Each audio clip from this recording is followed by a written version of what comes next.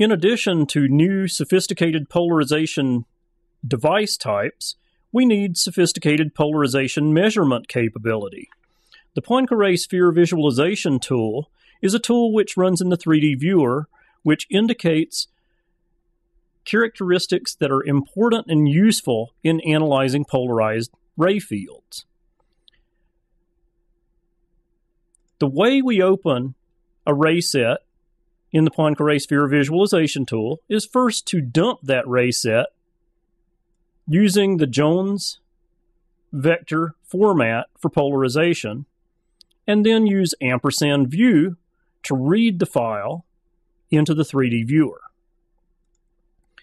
So this is the 3D viewer running the Poincare Sphere visualization tool. There are a few things worth noticing about this. First, we're, we do not just have polarization information here. We have wavelength information encoded in the shape of the markers. We have the ray flux encoded in the color of the markers. And of course, we have the polarization encoded by its position on the Poincare sphere.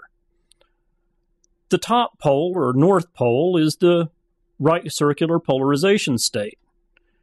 The bottom pole is the left circular polarization state, and the equator are linear states of various orientations.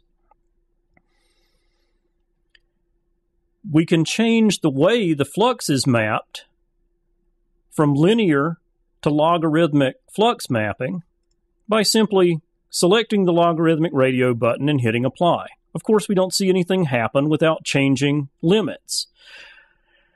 We have three populations in terms of flux. We have some low flux rays around the equator, and all of the others are at least somewhat higher.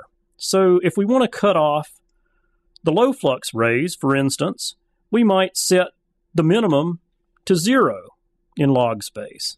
And of course, the rays around the equator, which I said were low flux, disappear. If we wanted to take a look at the high flux ray or the low flux rays only, then we might reverse that and set the max to zero in log space. So now we see the rays around the equator, which, as I said, are linear states. And if we want to take a closer look, one thing we might do is simply select one with our mouse button.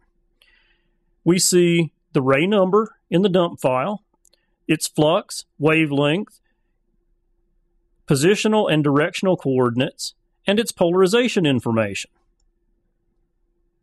If we'd like to save that information, we can use Control in the left mouse button to highlight that rays marker and then to send it to the output window, we simply hit Display Polarization Information. That's a right click in the open area in the toolbar, and then Display Polarization Information.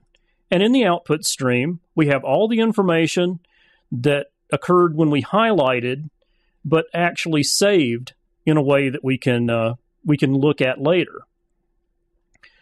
If we want to save this directly to a file, we can use the Save Polarization Information option.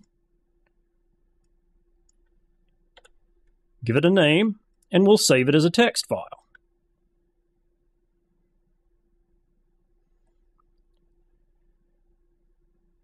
there are many ways to uh, to alter the basic appearance of the uh, Poincare sphere tool. One further option that might be of interest is to turn off flux mapping altogether.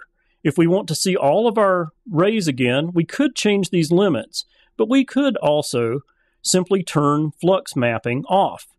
And that's done using this button. So now all of our rays are showing again. The Poincare sphere tool gives us a way to look at very sophisticated interplays of polarization state, flux, and wavelength in a system and can be used to analyze sources or to analyze rays anywhere in a system, and in fact can include all rays in the system regardless of their location.